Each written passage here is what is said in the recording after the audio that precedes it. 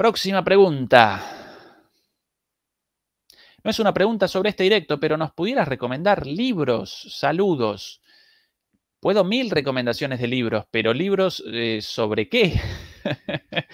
libros sobre qué? Yo ahora leyendo mucha literatura beletrística, como la llaman, muchos, muchos, muchas novelas, entonces si quieren puedo una recomendación de una novela, pero ustedes seguramente quieren una recomendación eh, relativa a las relaciones internacionales, a la geopolítica, Em, quizás una recomendación interesante, yo desde hace bastante tiempo con ganas de presentar acá la cuestión, pero a veces me acometen las dudas porque representaría una, verdaderamente algo muy teórico, muy académico, eh, presentar a las teorías, al enfoque del, sistema mundo, ¿no?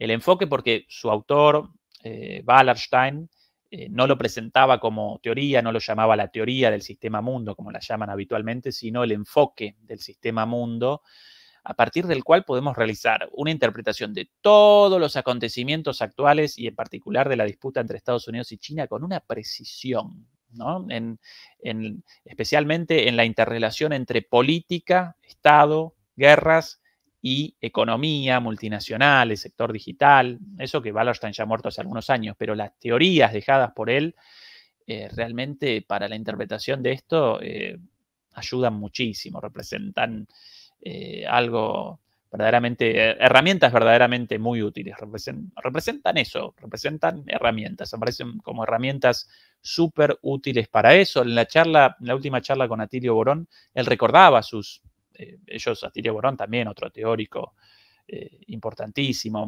muchísimas cosas de él interesantísimas, también súper recomendables. Ayer, de hecho, presentaba su, biografía, eh, su autobiografía en, en, la Feria del Libro en Buenos Aires. Un saludo, naturalmente, a Atilio, si apareces por ahí y felicitaciones por la, por la, publicación.